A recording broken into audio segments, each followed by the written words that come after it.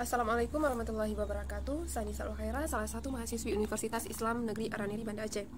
Baiklah, uh, dalam eh, UTS ini diberikan beberapa uh, soal. Soal yang pertama, jelaskan perbedaan antara waduk dan danau secara karakteristik dan ekologi. Baiklah, perbedaannya secara karakteristik, danau ini ter terbuat secara alami oleh faktor alam, sedangkan waduk dia dibuat oleh manusia sebagai tempat penampungan air. Sedangkan si danau uh, dia terbentuk secara alami dan uh, bisa dikatakan tidak uh, memiliki batasan yaitu debit air ataupun uh, jumlah ikan di dalam ataupun jumlah, jumlah organisme di dalam danau ini uh, bisa dikatakan lebih banyak daripada di waduk. Uh, sedangkan waduk dia debit airnya bisa berkurang ataupun bisa bertambah. Uh, dikarenakan hal ini, uh, secara ekologi mereka juga memiliki uh, perbedaan di mana waduk uh, bisa dikatakan uh, jumlah organisme yang hidup di dalamnya pun terbatas sehingga uh, ekologi yang ada di dalam situ berbeda dengan di waduk. Di mana di waduk uh, mungkin uh, lebih banyak organisme sehingga uh, ekologi yang terjadi di sana lebih uh, sempurna dikarenakan terbuatnya secara alami.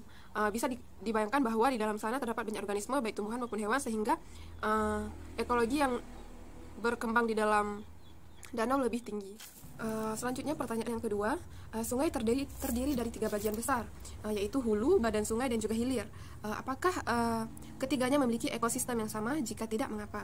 Uh, baiklah, menurut saya um, dari ketiga bagian sungai ini tidak memiliki ekosistem yang sama. Pasti ada perbedaannya. Sebagaimana kita tahu bahwa kalau uh, hulu sendiri dia akan ber, akan uh, terletak di bagian uh, seperti pegunungan uh, ataupun tempat-tempat yang tinggi sehingga uh, karakteristik uh, dari hulu ini dia airnya bisa sangat jernih dan juga memiliki arus yang deras. Jadi da, uh, sedangkan pada sungai dia memiliki air yang lebih tenang uh, dan juga uh, biasanya terletak di antara hulu dan juga hilir pastinya.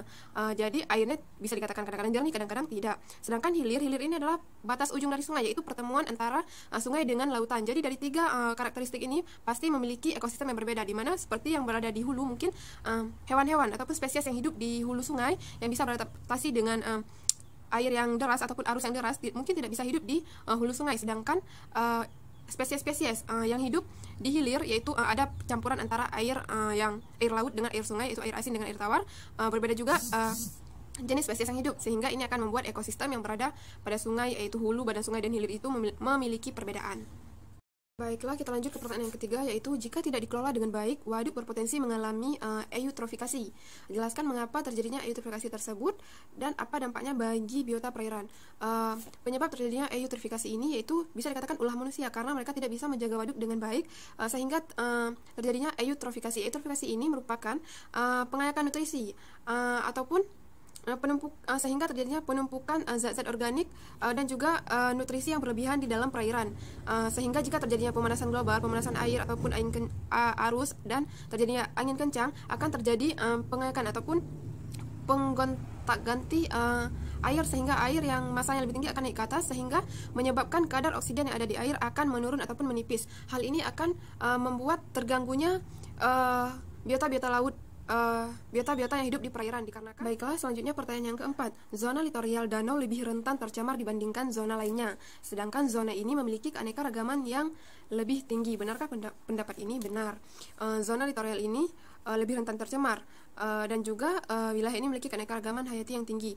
I, um, pendapat ini sangat benar dikarenakan zona litoral ini merupakan zona uh, bagian di mana terdapat um, posisinya di antara pasang tertinggi dan juga uh, surut rendah dan juga uh, bagian zona litoral ini merupakan bagian peralihan antara kondisi lautan dengan kondisi daratan sehingga Baiklah, pertanyaan yang kelima, melindungi ekosistem perairan adalah tanggung jawab uh, seorang muslim.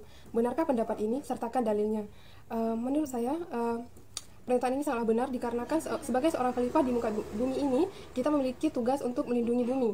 Uh, salah, satu, salah satu dalil yang uh, menceritakan tentang uh, seorang muslim harus menjaga perairan adalah uh, Bismillahirrahmanirrahim. Istasqa Musa liqaumihi faqulna faqalna drib bi'asakal hajar fanfajarat minhu asyaratal 'ayna. Qad 'alima kullu unasin mashrabahum. Kulu washrabu min rizkillahi wa la tansaw fil ardi mufsidin. Yang artinya, dan ingatlah ketika Musa memohon air untuk kaumnya, lalu Allah berfirman, Pukullah batu itu dengan tongkatmu, lalu memancarlah daripadanya dua belas mata air. Sungguh, tiap-tiap suku telah mengetahui tempat minumnya masing-masing. Makan dan minumlah rezeki yang diberikan Allah. Dan janganlah kamu berkeliaran di muka bumi dengan membuat kerusakan. Baiklah, hanya ini yang dapat saya sampaikan.